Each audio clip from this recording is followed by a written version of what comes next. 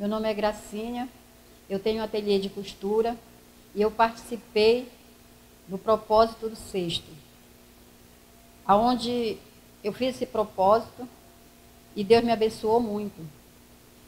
Foi justamente na semana em que teve o decreto e fechou tudo. Tive que baixar as portas e então fiquei sem clientes e sem costura, né? Só que através desse propósito, Deus me abençoou muito. Aonde as pessoas começaram a me procurar através do WhatsApp, através do telefone.